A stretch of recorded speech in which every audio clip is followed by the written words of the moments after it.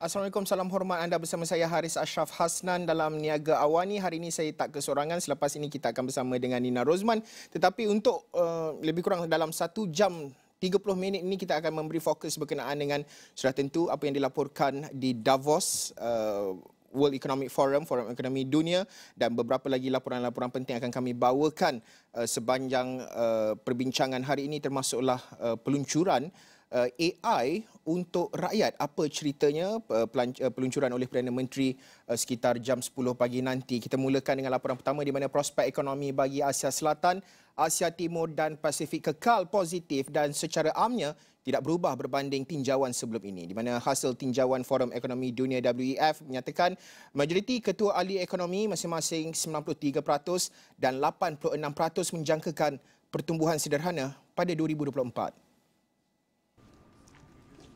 Dalam laporan terkini, tinjauan Ketua Ahli Ekonomi Forum Ekonomi Dunia WEF, ia berkata kecuali China dengan majoriti lebih kecil iaitu 69%, pakar-pakar menjangkakan pertumbuhan sederhana berikutan penggunaan yang lemah, pengeluaran perindustrian yang rendah dan kebimbangan pasaran hartanah memberi kesan kepada prospek pemulihan yang lebih kukuh.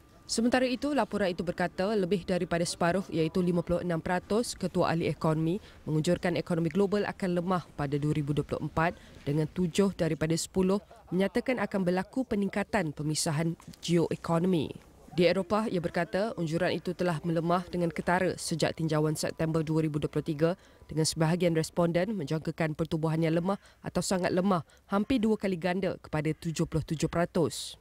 Di Amerika Syarikat, Timur Tengah dan Afrika Utara, prospek turut lemah dengan kira-kira 6 daripada 10 pertumbuhan menjangkakan pertumbuhan sederhana atau lebih kukuh tahun ini masing-masing turun daripada 78% dan 79%. Terdapat peningkatan ketara dalam jangkaan pertumbuhan untuk Amerika Latin dan Caribbean, Afrika Sub-Sahara dan Asia Tengah walaupun prospek kekal dengan pertumbuhan sederhana secara amnya.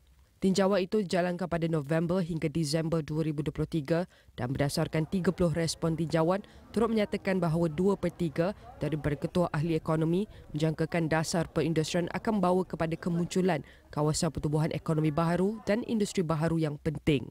Laporan Ketua Ahli Ekonomi itu diterbitkan bersempena dengan mesyuarat tahunan Forum Ekonomi Dunia 2024 yang berlangsung pada 15 hingga 19 Januari 2024 di Davos Kloster, Switzerland menghimpunkan pemimpin terulung dunia di bawah tema Membina Semula Kepercayaan.